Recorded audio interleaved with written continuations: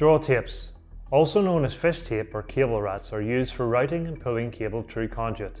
Their flexibility means that they can be used for routing around angles and they often come with an attachment for the end which can hook or fasten onto a string, wire or cable which can then be pulled back along the draw tape's original path. The CK Spiraflex draw tape is the most advanced draw tape available. Designed for longer, smoother, quicker cable installations, it features a spiral design which significantly reduces frictional resistance and minimises snagging and is manufactured from an advanced PTE material which is super flexible and immensely tough. This also results in less kinking and coiling compared to nylon and steel tapes. It is also very effective for routing with cables in situ.